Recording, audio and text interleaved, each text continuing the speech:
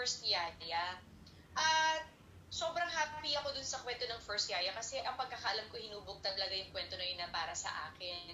Pero syempre, bilang sa hindi inaasahang nangyari, may pandemya tayo, siguro kahit sino namang nanay, iisipin muna yung kaligtasan niya para sa kaligtasan ng mga anak niya. Especially kasi sa vaping kasi ng, ng first yaya, kung hindi ako nagkakamali, naka, mga ilang araw ba, parang 15 days na walang uwian, tapos mag-rest for 2 days, tapos babalik. Sabi ko, paano ko gagawin yun? Kahit mag-pump ako at ibigay ko yung milk ko, baka pagdating sa anak ko, palis na.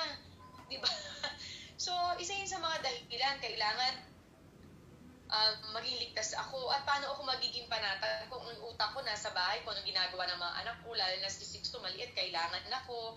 So, ang hirap para sa akin. Tapos uuwi ako from taping. Paano ako makakasiguro na wala ang nangyari sa akin? Tapos uuwi ako diretso sa bahay.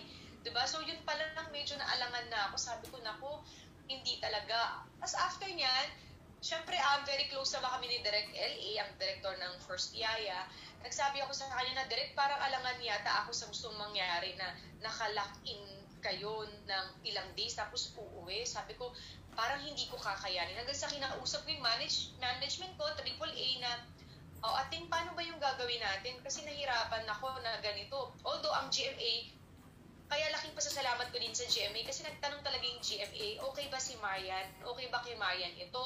Ganito yung gagawin niya, ganito, ganito. Talagang naman akong tao, straight to the point ako at hindi ako magpapaligo. Na direct to the point na sinabi ko talaga na hindi ko po kaya. Siguro po ang pagkatapos na lang ng pandemya, baka maka-adjust na, may gamot na, o mas safe na para sa lahat, dun ako babalik para magtrabaho.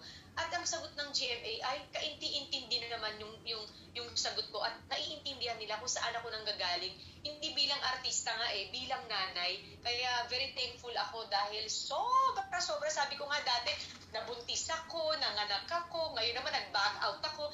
Lahat ng ng dahilan ko tinanggap ng GMA kaya very thankful ako sa GMA na ganung kalawak yung pag-intindi at pagmamahal nila sa akin.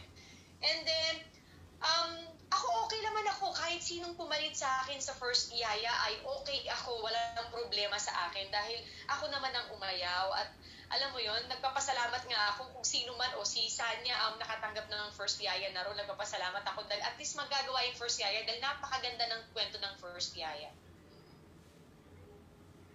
so much. Congratulations, Marian. Thank you.